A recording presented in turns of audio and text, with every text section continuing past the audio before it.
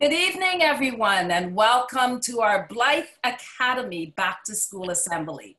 I just, I felt like a principal saying that. I feel really good. So my name is Jillian Danford, and I'm a regular panelist on CTV's Mind the Gap.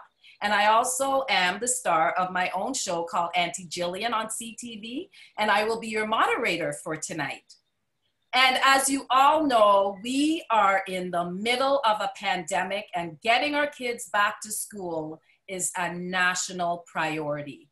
And we have some amazing women here tonight that are on our panel to help start the conversation and to give us some insight on how are we going to get our kids back to school. So I'm going to give you the great opportunity to meet our panelists. So let's start with Alyson. Oh, hi. Well, first of all, thank you, Blyth Academy, for doing this. Um, I'm a parent educator and a family counselor, and as you can imagine, working with families, I really know just how stressful this whole trying to combine a pandemic with an education has been for families and the fact that you're uh, uh, gathering up this great group of experts and letting us have a dialogue and answer questions is, is a tremendous community service. So i'm very happy to be here.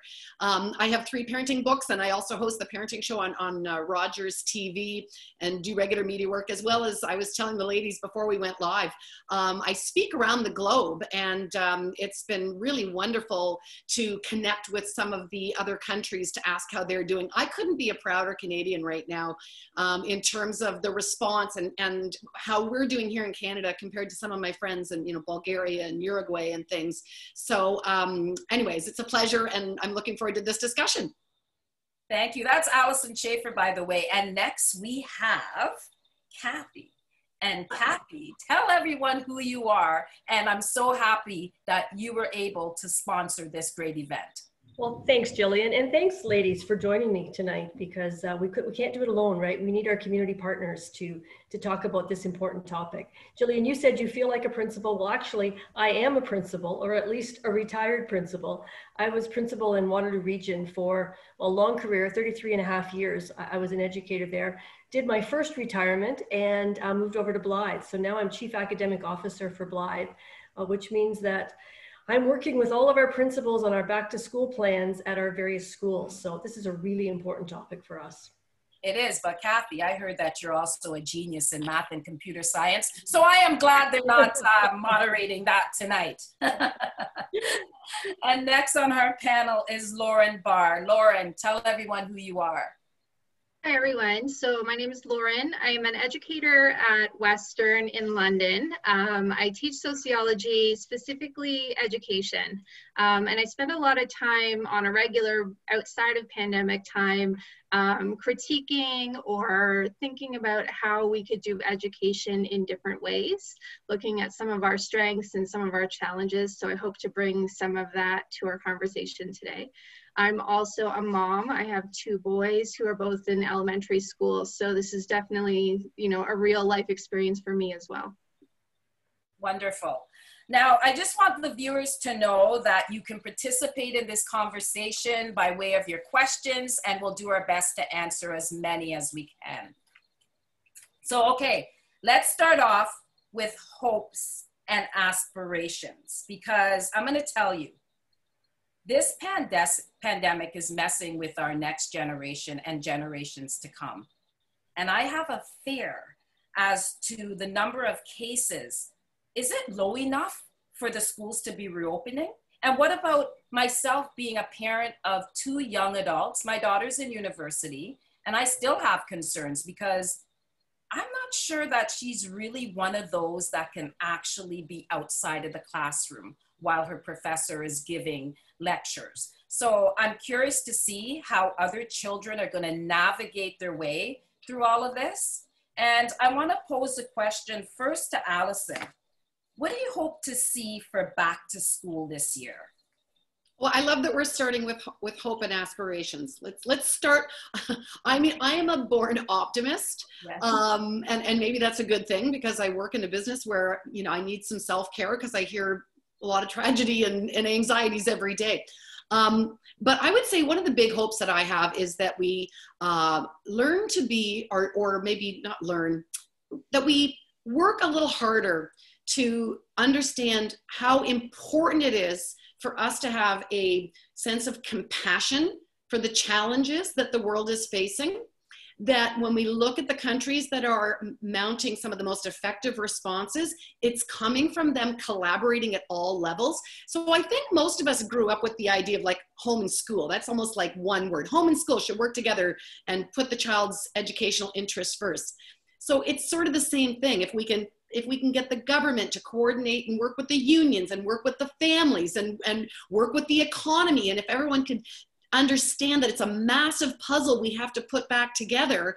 And the best way that we can expedite that is by seeing each other as collaborators and, and being more, uh, having a sense of uh, faith and, and know that kids are incredibly resilient um, rather than this sort of fear and scarcity like someone's going to get ahead and my kid's going to fall behind and um, you know I, I think that's um, if we can try to stay positive and, and collaborative we will we will tweak and adjust and we will usher this generation through i, I really believe that anyone else want to speak on that well, I'm just going to jump in. I think one of the things that we've seen during this pandemic is that people have begun to realize the real value of education, the value of teachers, um, the importance of school in our children's lives. And so, as a, as a longtime educator, that's really important for me because it, it, I believe strongly in education. It is what, what our kids need. They need that routine. They need that collaboration. They need that socialization. So in some ways, this has been really positive for education. It's also asking us to be creative or forcing us to be creative. So no longer can we just do what we've always done. We need to think outside the box. Lauren, you've probably got some, some ideas about this, but what does education look like? What does, what does good education for all of our kids look like in this new world? I'm interested to hear your thoughts, Lauren. You stolen my you stolen my spiel. Uh, yeah, I was, ditto, it's a good thing. It means we're on the same wavelength. I, I I find a conversation I've been having a lot, both with students, parents, and educators, is kind of well, how do we know that we're going to recreate it the way that it was before? And I keep kind of pushing back, going, why do we assume the way that it was before is the best way? Um, you know, there's a lot of really uh, interesting ways that we can educate that we maybe don't do because it's it's easy not to, or there's a lot of challenges and boundaries and barriers that make it challenge like harder. And so those have all kind of blown up. um, and so now we have the opportunity to kind of go beyond the walls, beyond the boundaries, you know, all of those types of metaphors you want to create. Um, as a sociologist, I've also seen a lot of, you know, recognition of inequality or conversations around equity or things like that and it's not as though those things weren't there before, but this pandemic has kind of thrown them into our face. So it's a really good opportunity to stop and think about, you know, what does that look like and how could we not move forward the same way that we were? That we were, exactly. And, you know, there's been a lot of talk um, surrounding guilt from parents and putting kids in school versus parents working from home how do you feel about that? How do you women feel about that? Because I feel, and speaking to my kids are, are self sufficient, they're older. But as I'm speaking to my sister in law, she is really grappling of sending her kid back to school or should she retire earlier? So, I mean, because she's feeling guilty. So, what are your thoughts on that? So I'm going to jump in because I asked, interesting enough, I have a 27 year old daughter and I asked my daughter that question today. I don't know why, but I did. And I loved her response. And it was that every parent needs to feel empowered to make a decision that's right for their family without feeling guilt. Because I, I, think there's no one right, there's no one right answer now that works for everyone. Um, people are all in different spots. Kids are in different spots. Families are in different spots. They need to be able to do what works for them individually. I think. I agree. Anyone else? Well, yes, I think, and to your, to your point about um, the fact that we're we're really shaking the foundations of some institutions, and really when we talk about guilt from a psychological perspective, it's it's sort of like our little alarm bell that we're not doing the prescribed societal um, instruction code set that we're supposed to, and we have to remind ourselves the code book just got thrown out, and and again, yay uh, because there was many things that weren't working in that old code book, as, as, as you say. So if we can, again, be compassionate with ourselves and say, what, are, what was involved in this decision making um, that I would know that this would be a right decision for my family. And that might be perceived threat, that could be pre-existing condition, uh, that could be um, I'm not coping well, I'm falling into a depression, and my husband is starting to get drinking and violent with the children, or we can't afford to lose our house because I can't go to work and I can't work with a, a, a kid who has this many demands on me. There's there's so many different situations to look at.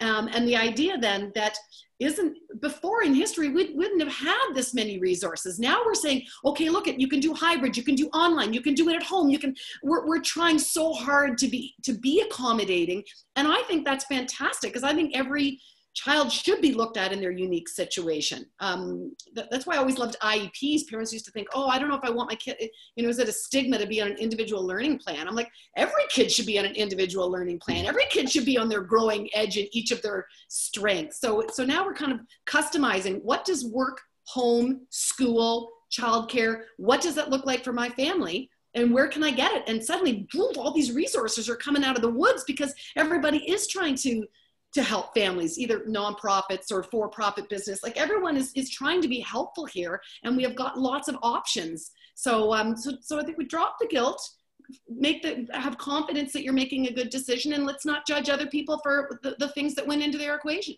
Right, definitely no judging because I mean, each family is going to have struggles upon struggles even after COVID. And some mm-hmm. are going to really like what they're seeing they're going to maybe not want to send their kids back into a traditional class full of 25 and 30 kids. They might make other um, arrangements, such as with Blyth and their class, their class population is really small. So um, I don't know if you had anything to add to that, Lauren.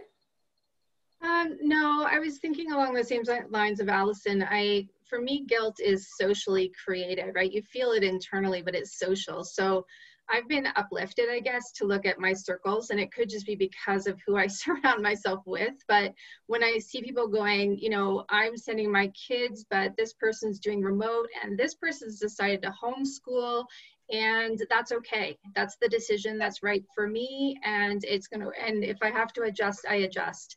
So right. I think maybe we need to let go. There's no perfect answer right now. There isn't. And the, so, I love that the creativity that is happening is amazing. I was just reading about university students because they're doing everything online. They've decided why pay for housing there. And so they're going in on an RV and they're up in the mountains and it's all these law students that are, you know, and this other family, they got the kids in the community and they cleared out their barn and they now have the parents are now working and rotating amongst this. We, we, we never would have had this, these options. We would have, you know, you would have gone to the school at the end of the road, your biggest decision, you know, probably, you know, are you going to go Catholic or public or, you know, private? We didn't have, we have so many options now. People are figuring this out. Um, I, I have to say one more thing just for parents. If you have not had an opportunity to watch the very popular TED Talk by Sir Kenneth Robinson that talks about the history of how this version of education got created and how outdated it is, and how underservicing it is for our bright-minded children. Um, you know, I always thought it, that education needed more than a renovation. It, it needed, uh, you know, a complete renovation. Yeah, yeah. It's a knockdown, start from scratch, and and this is forced our hand on that. And so, uh, and so I, again, that's me as the optimist. But I, I will will service our kids. I really think we will. I'm with you there, and I want to talk about the new normal what is the school board plan for going back to school? For me, it's questionable. How many children they allow in one class? And will there be a physical distancing? And what will that look like throughout the school day? Not even in the class, throughout the school day with recess. How about the desk? Are they going to stagger the desk? And how do you ensure that the kids will wear masks? So I'm also concerned about the teachers and they have how about if when they're sick and they have to stay at home? What are the strategies that are in place to support remote work so students won't fall behind? So kathy so take a stab at this one. Big questions jillian big questions. And, and, and as you know we're a small private school. We're not a school board. School the school board is my background though. Um, it's a tough world. I, I think it's a really tough a tough go for school boards. Big schools, big classes, um, they are doing their best. Uh, I would say they are doing their best in a, in a really difficult circumstance. Uh, one of our one of our big advantages at Blyth is because our schools are small, so already fewer contacts. Because our classes are small, average class sizes of 10 or less, uh, that allows us to cohort the kids more easily. It allows us to physically distance them more easily.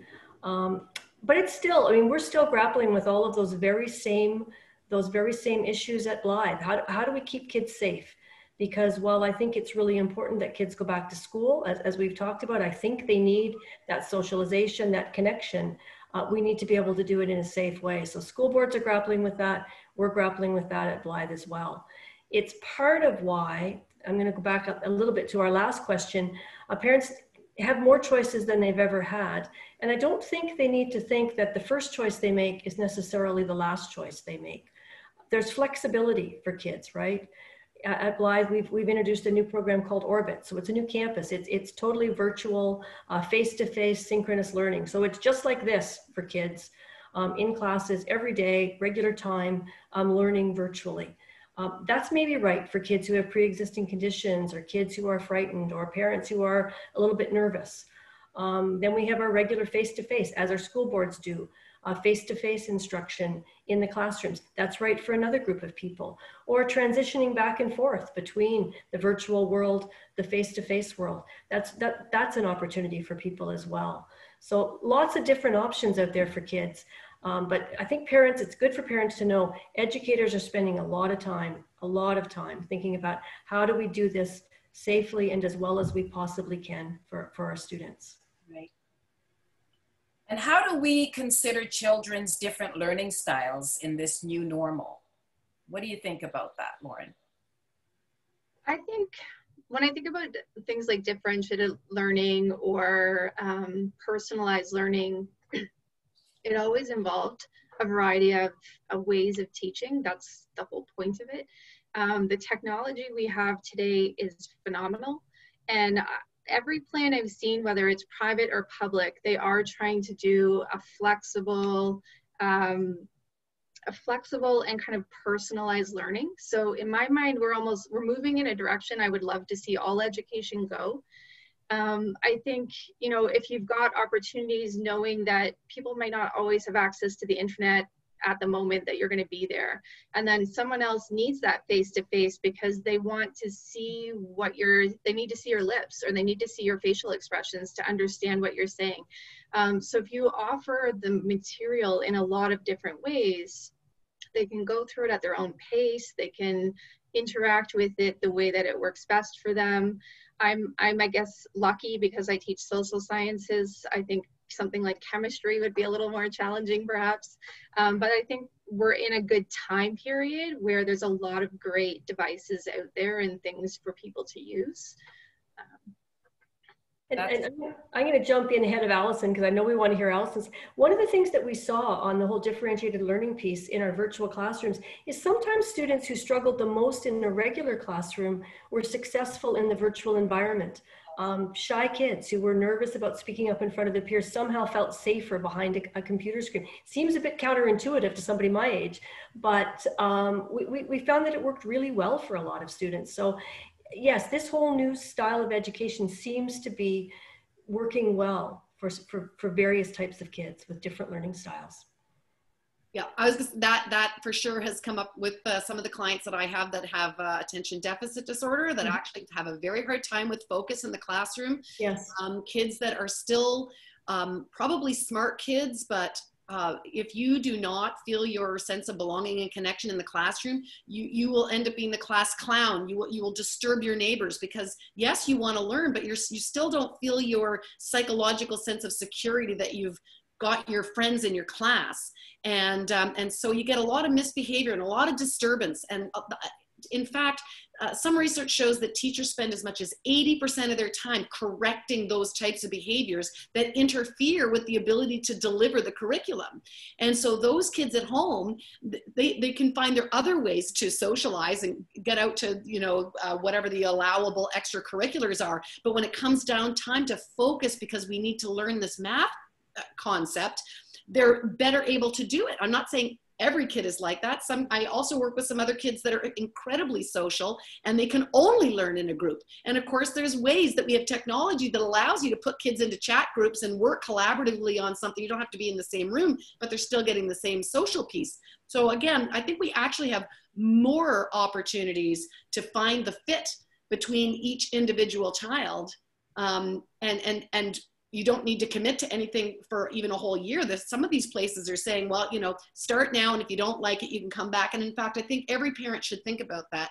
That we probably will have somebody who develops a symptom, or maybe um, whatever that they're going to say people need to quarantine for two weeks or and then they're going to have to go home yes. or they're going to have to go somewhere out so we're, we're going to have to have a plan b you know need to have a plan b. It's it's gonna it's gonna be i think back and forth and here and there and augmented and oh of course because we've never been in this situation before so it's going to be a lot of trial and error. Yeah well, and absolutely, we will have Plan Bs. I mean, public boards do. We do it Blyth. Uh, one of the one of the advantages we've got this September is that we did this back in March, right? We were in our classrooms. We pivoted out. We we worked hard with our kids. We tr- with trial and error, lots of trial and error, what works. And so we've got that plan, plan B in our back pocket this September if we need to pivot out again. Fingers crossed we don't, but we are going to have cases. I don't think there's any doubt about that. And so we're, we're ready. I think schools are ready to, to deal with those circumstances.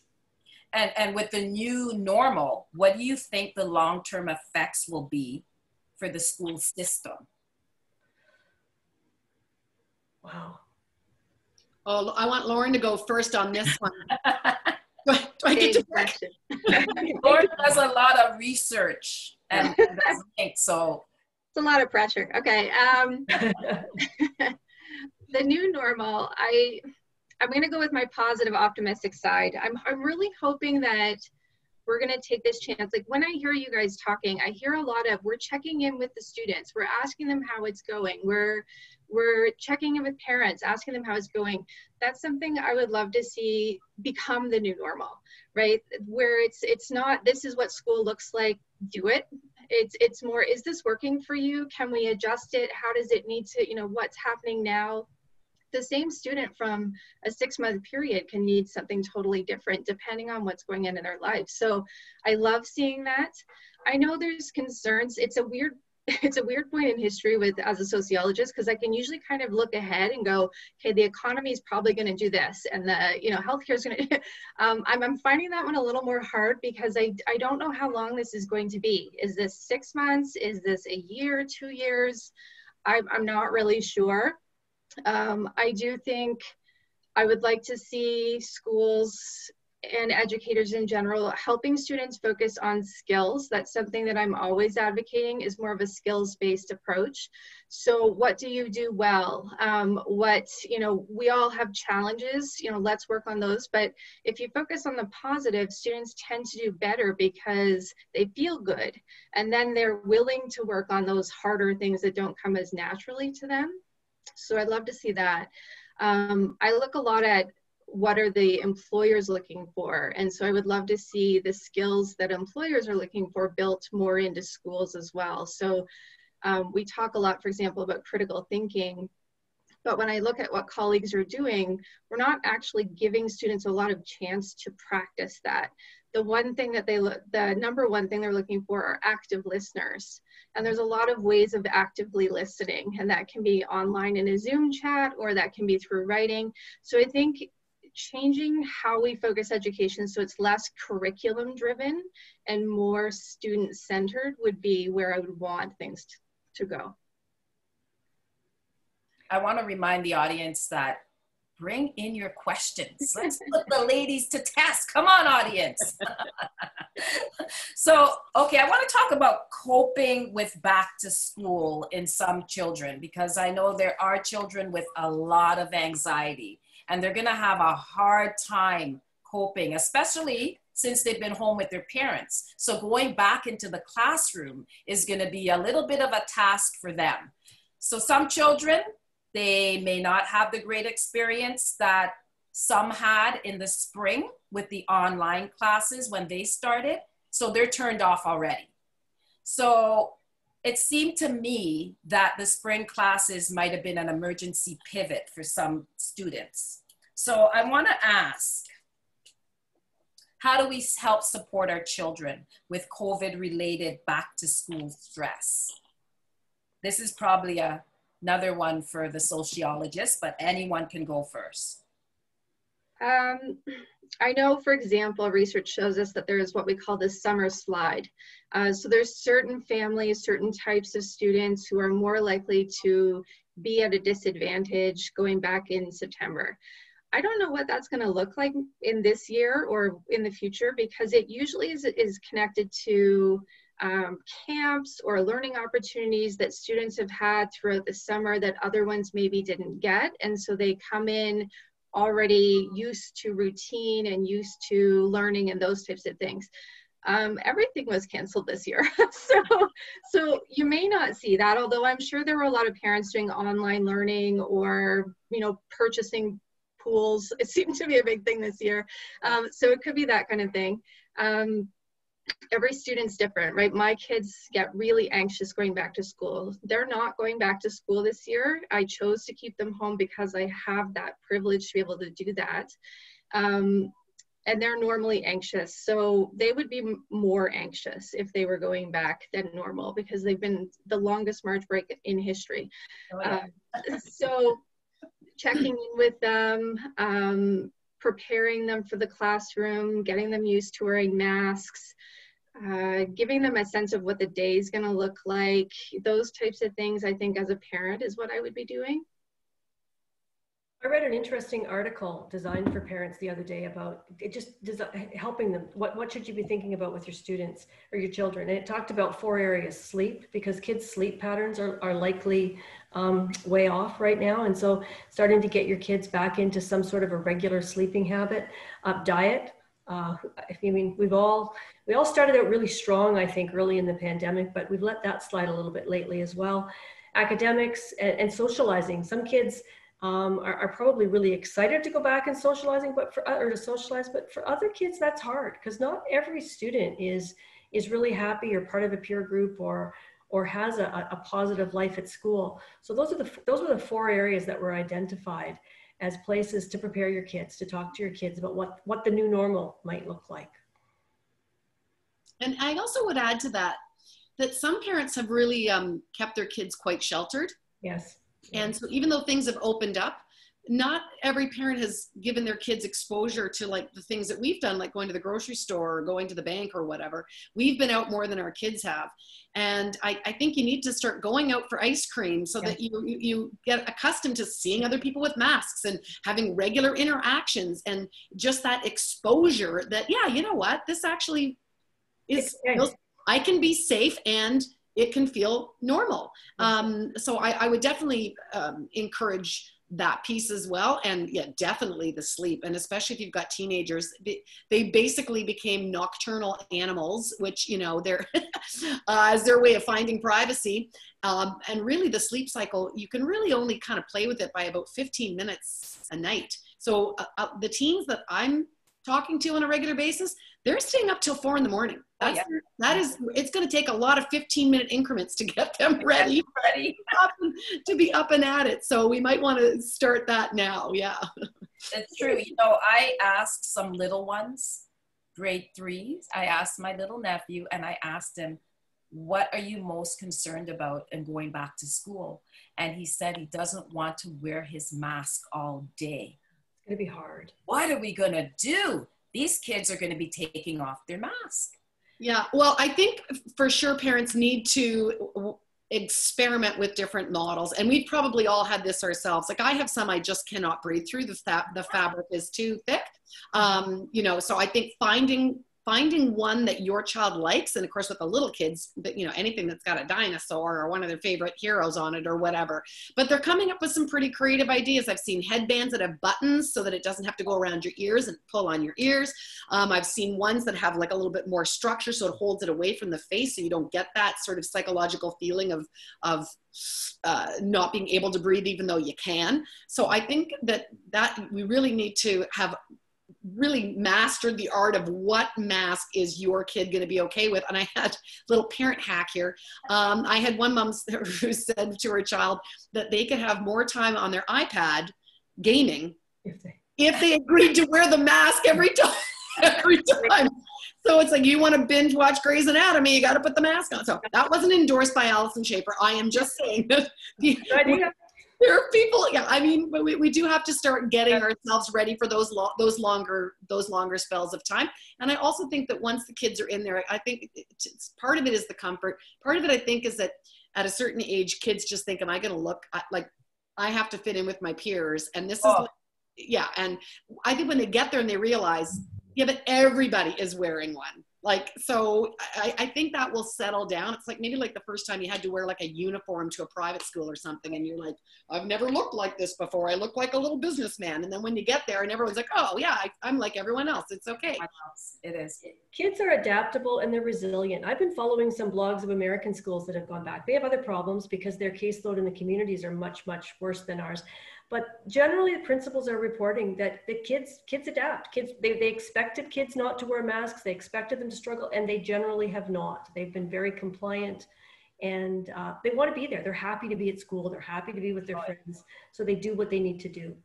Right. And so ladies should parents be worried about education gaps between children who choose to learn at home versus those in class learning I'm going to go back to that guilt question if I could. I think parents have to focus on doing what's right for their kids. And, and I think right now, um, the actual education learning is not the most important piece. I think getting kids back into a sense of normal, I think mental health, we haven't talked about kids' mental health yet, um, but I think that those are all things that, for me at least, even though I'm an educator and I believe fundamentally in education, I think those other issues are top of mind.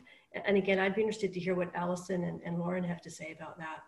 Yeah, I mean, I, so I helped open a couple of preschools here um, that go up to kindergarten, and we we sort of talk to the parents about we called it our ABCs. When we do our ABCs at that age, it was acceptance, belonging, which is that community piece, and then you can do curriculum. Yeah, I, I do believe that an engaged child that is um, uh, settled psychologically you know as and as social beings feeling a sense of connection in our family feeling a sense of connection in our peer group in our classroom in our school in our communities that's what kind of allows us to feel settled so that we can have the bandwidth to then engage and want to grow. I mean that's the brain the human brain really is designed with two specific tasks to be social and to learn. That's we're so I, I i'm like try to stop a child from learning like we're, we're we're learning all the time. So again, if we can stop having the fear that there's this fear that we're not doing our part as a parent to help educate our kid if we can take the long road if we can take the big you know the, the longer path view that you know what by the time their education journey is over and i hope frankly that it never is i hope we're all lifelong learners right. um, that they will find their way to, to to learn to master subject matter and find what engages them and then use that as some occupation or vocation or mission to give back to the community so I think if we just sort of stay a little philosophical, um, then then we can move away from someone got ahead and we're falling behind and and you know my kid's not going to have a place in the job market if they didn't have straight A's when they were in grade 7 you know? Schools also know right? Teachers know. Teachers know that kids are not all coming in in the same place. They're well aware of the fact that kids are going to be at different stages different levels and they're prepared for that. So i mean we've been talking about that really regularly all all spring and all summer. What how, how do we make this an experience that takes kids where they are and, and brings them all forward? And I, I think every school in the province is doing that. Well we have an audience question from rebecca and she wants to know what do you recommend for a child who gets better grades online but prefers in class but grades not as high and is now entering grade 11 that's a great question rebecca so I'll take a crack at that. Okay. Um, so so again, there if you can augment, you don't. You, so he can enroll, go go to the school where his friends are, um, go where he's socially connected and thriving that way. But then the world is full of resources that you can supplement with, so that if he's working on science, for I'll just use one example for science, you know go to one of the free apple's got resources. There's other there's other curriculum things that you can plug in to put your marks up where you want it to be. So you got you got to be a little bit more creative yourself in finding resources. Um, but I, I don't think it necessarily has to be an, an either or situation no, when, what I was going to say was in terms of grade 11, nice piece about that is grade 11, it's all on a course by course basis. So maybe the, maybe the student can take some courses in school with his friends where that social connection is really important, but they can do other courses online where marks matter more. Um, so it, it, it would be a great opportunity for a hybrid model, I think. I was going to say too, I would look at what it is about the online learning that is working well for them and then see if that can be brought into the classroom. Like there's got to be something about the way that it's set up, whether it's the distraction piece or whether it's more that it's linear and it's offered in different ways. So if you can find find out what it is about the online domain that's working well and see if that can be brought into the classroom if that's where he prefers to be. I just find that it's amazing and fantastic that they have the choice. Back in my time, mm-hmm. it was you're going to school, there's no such thing as online, or we weren't homeschooling. So fantastic. See, the pandemic really brought us into resetting what we really needed to reset our education system. And Rebecca has. And to Lauren's point, let's being specific about you know what is the unique struggle of this child in this subject matter and addressing that as opposed to really not being child centered and just saying, well, this this kid is struggling, their marks go down. You know, um, no one no one tried to make accommodations right for the, for for the standard student. You you had to like meet a criteria to get you know x you know to, to say I need to write a test in a room on my own, and you know you had to meet criteria to, to basically say I'm not functioning. And then kids get labeled and they think they're stupid or they think they've, um, you know, it was a kind of shameful to need help. And now we're like, no, you know what? If you're better at oral, you'll do oral. If you're better at written, let's give you more in written. And we can, we can be way more, um, you know, using Gardner's learning styles and, and work more collaboratively to make everybody shine the best they can. Yes. So there's a question from David, and he wants to know what are your thoughts on hybrid classes to help cutting down class sizes? So I've got thoughts on hybrid classes, and I, I think they're, I mean, yeah, they, they will cut down class sizes for sure, because if some kids choose hybrid and some kids choose um, in-class learning, but I think that the real advantage of, of hybrid classes are not so much the reduction in class sizes, they are just in providing choice for kids uh, choice for families and the opportunities for families and students to go back and forth between the different, different learning models. Okay. Anyone else have thoughts on that? If we don't, we're going to move on because we look like we have a university student, Bradley Robinson. Hi, Kathy. He said, shout out from Blyth Waterloo. Up until yesterday, I was extremely worried to go back to school. And then the staff had a really candid conversation with our amazing principal. I now feel much confident in attending in-person classes. If you were to give teachers at Blyth three pieces of advice going back into the classroom after being out for so long, what would those three pieces of advice be? Okay, well, student. Shout out to Blyth Academy Waterloo. Wow. Yay. Actually, Brad Robinson or Bradley Robinson is one of our teachers in Waterloo, and he was not a plant. We didn't tell him to give this question. So I just, okay. I just full disclosure there. Uh, Brad, I, I'm, I'm really glad, Brad, that you had a good conversation with Lori. Lori Guest is our amazing principal in Waterloo, and she is an amazing principal, does a fabulous job. The whole staff does. And they do in all of our campuses. I, I mean that quite sincerely. What are my three pieces of advice? I think my three, three pieces of advice are one, um, don't be afraid. It's not going to be as bad as you think. Um, kids are resilient, staff are resilient, our schools are, are prepared. So don't be afraid. It's, it's going to go, it's going to be okay. Um, I think the second piece of advice I would give is don't focus entirely on the academics, focus on the kids. How are they feeling? What are the struggles that they're bringing to the classroom? What are the fears they're bringing to the classroom? Think about where your students are and try to work with those kids. And then my third piece of advice is once you settle, once you settle that piece down, then it's time to start to work on academics. And again, as we discussed a moment ago, be really aware that some of those kids got the full curriculum last year. Some of those kids did not. So they're going to be at all different places, not just emotionally, as my second piece of advice, but also academically, my third piece of advice. So be prepared to deal with that in your classrooms as well. Very nice. And now, speaking about teachers, there are a lot of teachers that are nervous to go back to the school, just, just like the kids are. What are we going to do? What are we going to do with the teachers? What are we going to tell them? How is this going to impact them? What happens if they get ill?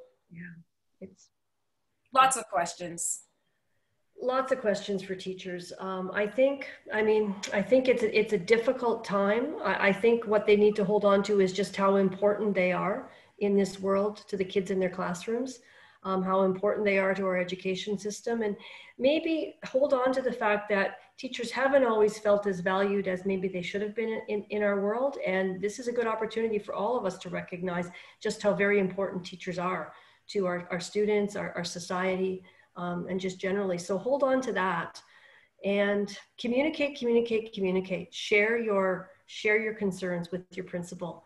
Uh, share your concerns with one another. Talk it out. Um, administrators want to help. They want to hear teachers' concerns. They want to do what they can to address those concerns. So don't be afraid to, to talk, to, to share, to share your thinking. I also think uh, in working with teachers, people that tend to go into education and want to work in the classroom, they they have a real commitment to those kids yes and they have such a strong sense of responsibility that um, that I think it's that extra burden of this the, the more responsibility. And I think they also need to hear it's okay. Yeah. um, that um, that they're not they're not alone and um, and that we will also support. So like just just like in the beginning when we you know do you remember at the beginning of the pandemic it was always like thank you for working. Thank you for working. I was just i just want to tell teachers thank you. Thank you for working and and and i have personally met and done work with our chief public health officer dr tam um, around um, uh, prior to the uh, the, the virus um, but she was also responsible for um, uh, vaccination information. And so, so I, I know how bright she is. Um, I, I've watched that office work and we would not be saying yes. We would, if we would not be putting people um, into this situation if our public health officers saw, thought that it was not a good health decision to make. And so we have to have some, some trust there that this has been looked at and thought of. And uh, and to your point just keep communicating. If anything seems amiss you know we'll we'll, we'll address it. And i like your comment trust. I mean trust that the public health system has said it, it, it's good it's time to go back trust that schools are, are doing everything they can to make it safe they're following the guidelines they're following the directions and actually that's a message for parents as well trust trust that uh, the public health officials have made a good solid decision and that schools are working hard to make it as safe as it possibly can be. Right.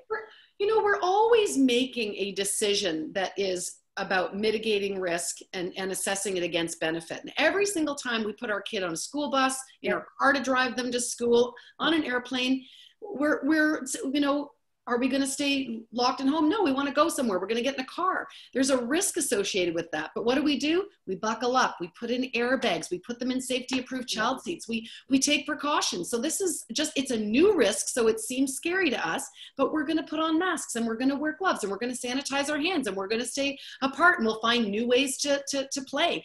Um, so, uh, you know, I, I really think it's just this adjustment period. Mm-hmm. Um, but I, I do think that kids kids are resilient, adults are resilient. I think I think we will adjust and get through this. All right, well, ladies, I am seeing that the time is near to ending this wonderful conversation, but I have one last question. Can all of you share your final thoughts and your biggest piece of advice to parents on how to navigate this current situation that we're in? Give us some inspiration. um, I would say um, uh, hold that hold that optimism.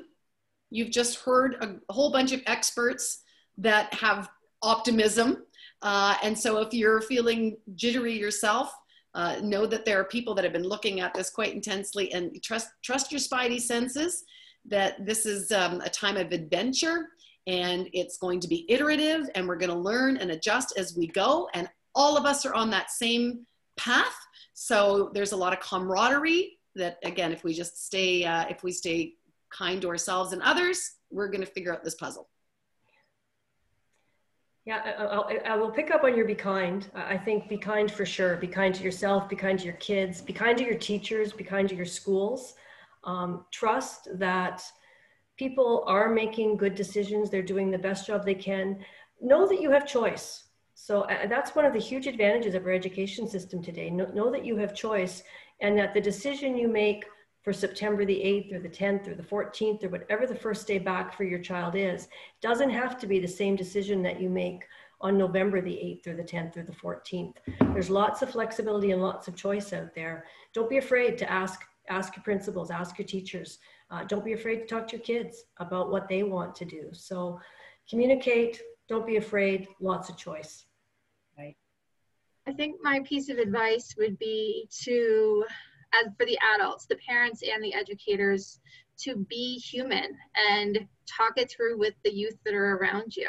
We often underestimate them. We also like to appear perfect and we they don't necessarily learn from that all the time. They can learn from us messing up or being human or you know telling them we don't know the answer but we're going to look into it or those types of things. So I think there's a really big life learning opportunity right now that uh, they can benefit from, and it takes some of the pressure off of ourselves. So you don't have to be perfect.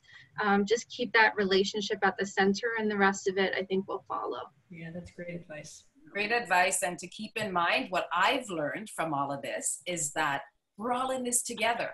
And we have to communicate with our children, teachers, officials, because this is going to be the new way of learning. This is the new norm.